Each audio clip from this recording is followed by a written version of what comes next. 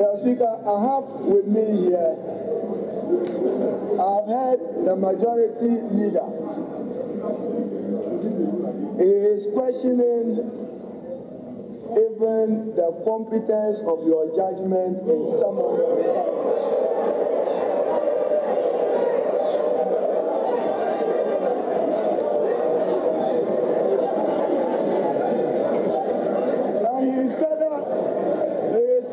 questioning the competence of the motion. Mr. Speaker, this house is not for nothing that he is sitting there as leader of government business. He is accompanied the deputy leader, whip, deputy whip.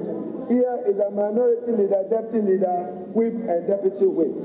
Mr. Speaker, the memorandum to you and I want to show it to the public, is signed by the Honorable Mohammed Mubarak Muntaka, Minority Chief Whip, in a memorandum.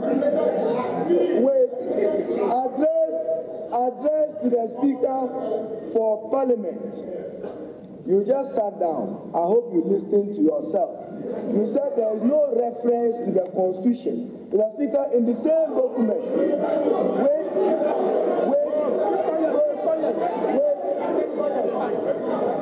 that he Mr. Speaker, in the Honorable Muntaka's memorandum addressed to you, as the Speaker and the head of this organ, it says subject and it reads request to the Speaker of Parliament under Article 1123 of the 1992 Constitution.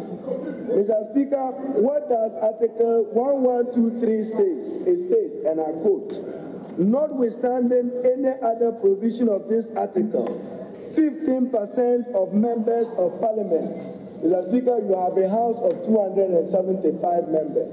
15% works out to 41.25, so 41. Mr. Speaker, further to the document which he quotes, questioning the whip for using we the underlisted, the we. Wait, we, the we, Order. we, we, we, we because, Mr. Speaker,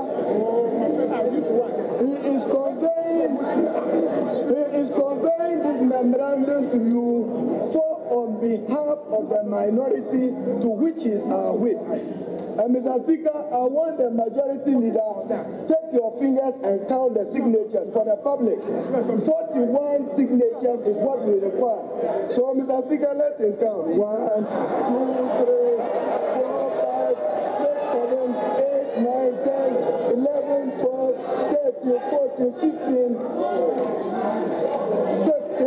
17, 18, 19, 20, 21, 22, 23, 24, 25, 26, 27, 28, 29, 30, 31, 32, 33, 34, 35, 36, 37, 38, 39, 40, 41. At this point, we have already satisfied the minimum constitutional requirements. That's eventually